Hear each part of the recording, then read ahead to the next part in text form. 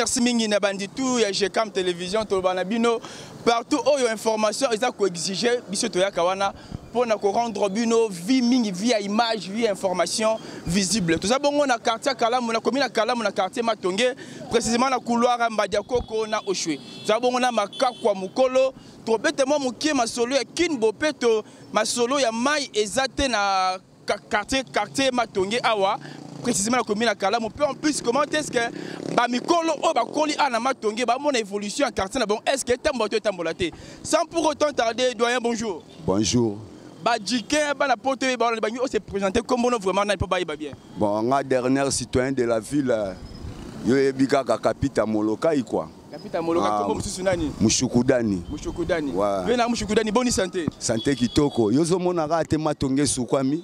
Miroir tala na kitala tala. Bazwa kitala tala ti. Solo. Ah. Donc toza jumelage na bana Bruxelles quoi.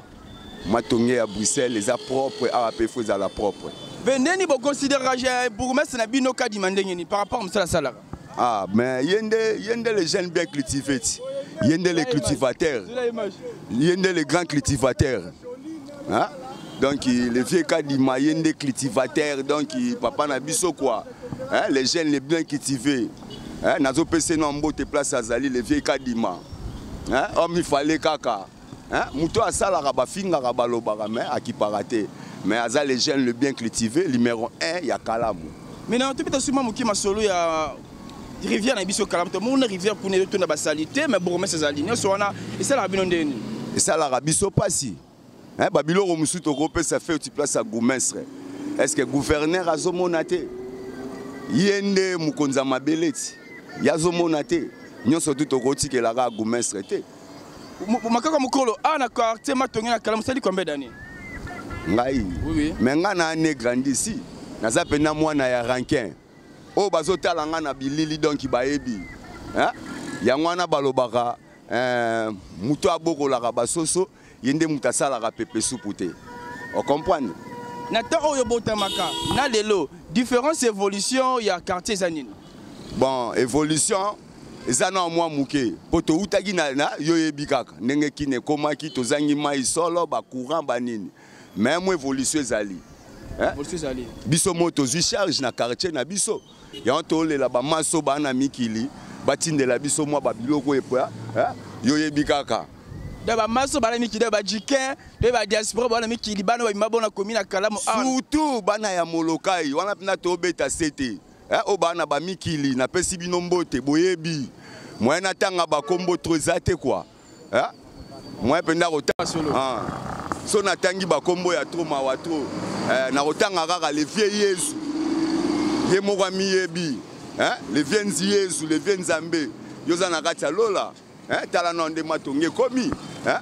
ata bokulu aza te me bosala nini molokai tomotaki komba ve bokulu nini opene ya makasi mpe ya malamu okanga bongo na ve bokulu mais ve bokulu alingaki propriété ti vie mpenza kolo propriété vie ayebaki ke tokobela corona yango wana abimisaki mangokoto yango wana toujours tobandaki koloba ke bambale soso bateki ngulu mutakala me ngulu atekami chere donc vie bokula alingaki propriété mais na tomona sikoyo bino mikolo na komi na kala bala mpo mamai makasi pourquoi pesa bino ndeni kaka seke bino banatif abaka komi na kala mais danze likambo ya mai tozolela mabe ba 3 heures balimba ezobima te bana lemsu bakotoka limba na butu boye kobima basoda epai donc mawa trop likambo wana mpenza nayebisa vie na ngai jansini donc kote oyo mpenza mwa insécurité kua yo yebi matonge eza terrain ambiance toa na bato ya loyenge te na couloir mbadi ya koko ambiance mais toujours kaka mbila donc traka konto mawa trop Hein? Mbila trakakonto. Trakakonto na alela kutu na vie na ngai kasongo donc ya yebi kisasa. Ouais, ouais. Hein? ameka na koblende koto ya couloir mpo na batrakakonto do batrakaserie mawa trop Hein? Atrakase bandi quand Mais depuis longtemps, batrakaserie banda. Est-ce que bon ça rappelle pas ya euh, gouverneur de la ville Mais non, totindaka ba message. Hein? na basite oyo eza a ya la police tokomelaka mpe gumesque toyebi te soki eh, le jeune le blanc cultivé kadima toyebi te soki atangaka balettre wana hein? yo eteke doye ya quartier balider nini ya makasi oyo oyebi babima awa na, na matongi oyo mpona yebi makasi mpe nakomi na kalamu oyo oyeba bata na poto bali bana bape na kinia bon nabandi nanu na cervos niarcos wana vie na ngai vie ya mwanda kua meme quartier mpe na ngai mpo na mwana oswe na mwana mwanda eh, à part cerveau signaracos wana si si si si kilongolongo kwa kilongolongo ça veut dire salongo cerveau signaracos toza na charli mboyo place azali mbote ya to wana grand prêtre imame eh, ye moko yo oyebi touti operdre vie tozaka toujours na matanga yango wana omoni cash konto hein yango wana omoni cash konto omoni cash ne oyo eza plus cher ata na poto moto akoki osomba yango aza te eza cher ya trop donc tozolakisaka image ke toza bana ya papa hein donc oza ba griffe ni loko te yango eza zina dikindonga ketimbisi keti personne agokima kibata gogila le plus cher Ok, obete roba nde eloko wana te. Zina dikindonga keti mbisi keti personne agoki maki bagta gogila. Donc cash n'est le plus cher du monde. Vraiment. Toujours totikaka la même idéologie ya vieux Bokul, ba biso. Osani kutu ebike Obama bengaki ngai semaine passée. Hein? Azalaki na posa ba cash n'est oyo donc anti corona quoi. Hein? Ah, wa wa. Ah, tu peux te dire sur la part cerveau synergos nani so abima ala matonge. À part cerveau synergos, bongo zana nani? oza na nani ngai nazali prêtre te eh, naza mbutu anganga puis question de grand prêtre mpo baprêtre basala bamakambo ebele neti bokula asala ya trop donc nga so babengi nga prêtre seke nakomi ocompare na vie na nga bokul kua mais nga naza mbutu anganga hein? citoyen fourmi quoi dernier citoyen de la ville ngai ata vie gentini ayebi ozozwa nga bien te zwa nga mpenza bien nde naosala salongo tobeta so masolo ya lelo kini bopeto une année déjà depuis idéologie wana mokonzi ya mboka elongo na gouverneur de la ville bazalisaki idéologie kini bopeto commune ya kalamu eza commune moko phare parce que ya egorge babar babiloko ebele bato ya milaka bayaka kolia mai tomoni komine biso bakomona mpo mamai nzela esali te estce nyonso wana teke bino badoyen ya quartier esalaka bino ndenge nini esalaka biso mwa mpasi esalaka biso vraiment mpasi mais mpo na propriété en tout cas biso moko tozwi nanu charge yango wana omoi nasimbi contake ozo comprendre oyo eza teni ya salongo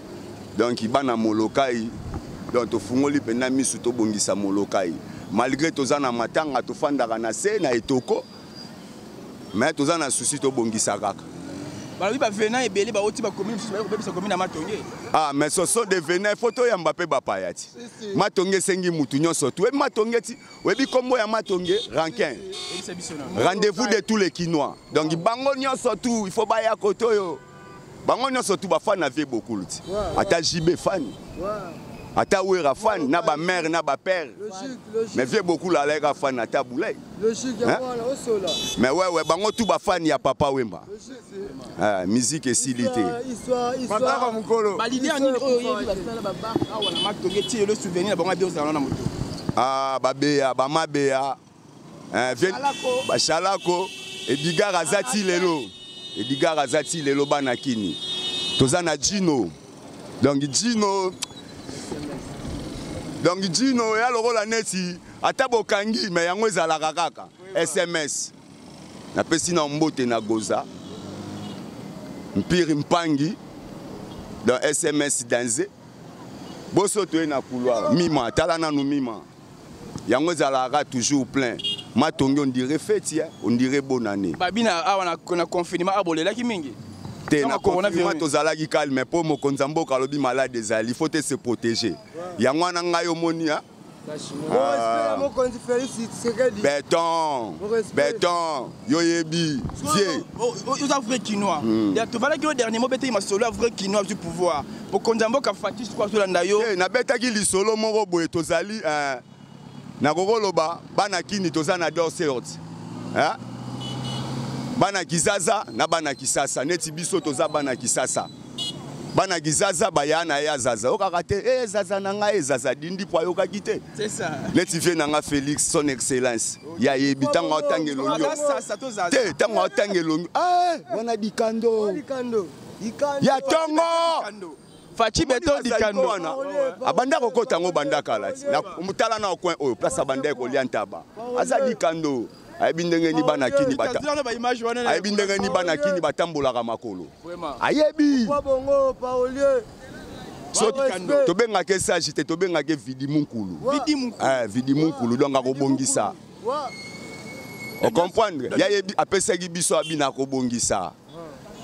le peuple d'abord quoi yango oyo ti tozwa charge vie place azali otala petit na ye azobukana mabe eh, petit na nga makako ya mokolo banda vie azwa pouvoir na tomonana te me nzambe nde asunga ye so wana nde sikoyo osenga na ye nini okonzi ya mboka soki osenga nasengaka nde kaka social banda abandaki kopesa candidature ya présidence amona elongi ya petit na ye ti nasengaka kaka vie sociale toujours ngai naza artiste eh, naza artiste mais euh, inspiration ezoya kaka mpo na mboka moto alobaka kongo ekobonga te akosi te baoyo eh, tala omoni lelo soki oza na mbongo voisin na yo akoyoka elo motema pasi ndenge ba voisin na biso babundisaka biso mais jour oyo peuple congolais akozwa esika moko afandi bana mai toboya nao bapolémike ya biso na biso toza bakinois totala nao ndenge mboka ezokende eh, nous sommes pas des politiciens mais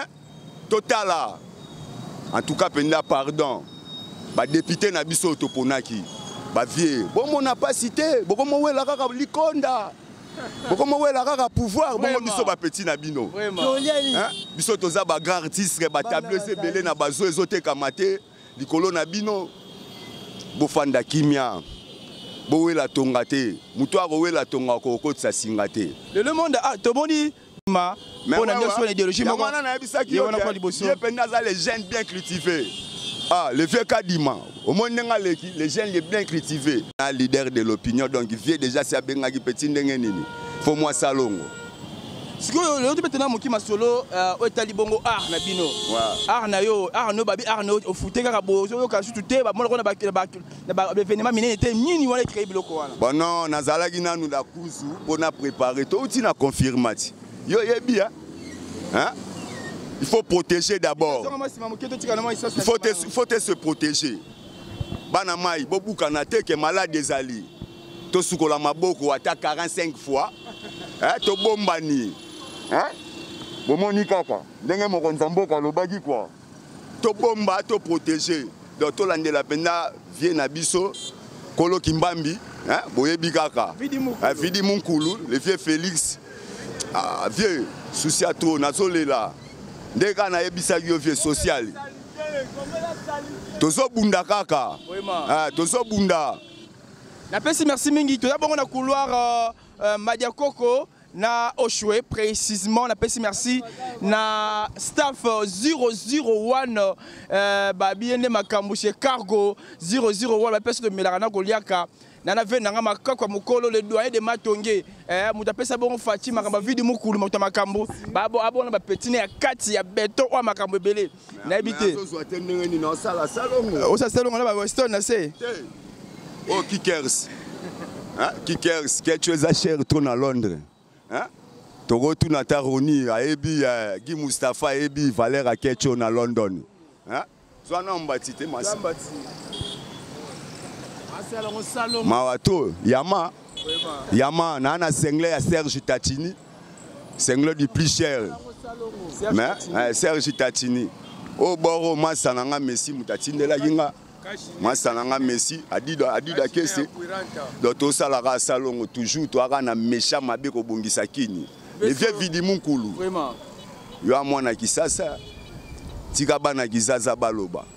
tomesana deja na bamatongi tomesana deja na kofinga yo yebi ata bafingi ata batioli tobundama kaka kisasa na biso lobi kongo na biso etelema toyebi ke badongolo miso baza kwa eh, toyebi ke bavoisin baoyo ya mitema likundu me tala kaka soki otongi de niveau eh, vie moto aza na niveau ase bakare ezokota akozala kaka jaloux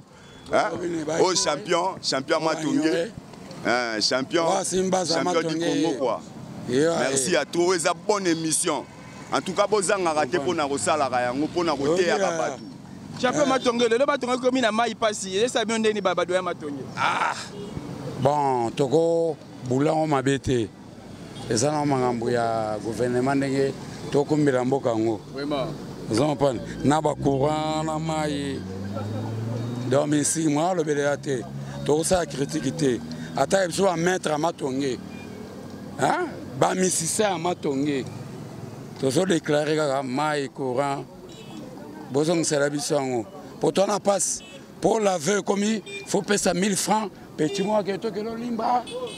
Zon pan pour vela. Mais ma tongue to yebela on ndenge wana te. Ata biso ba voya ma tongue, misisa ya ma tongue.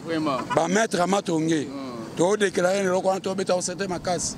Courant pasi, mai, folo ya petit na zwa. Moi ton nango ke to kela ngama na vela.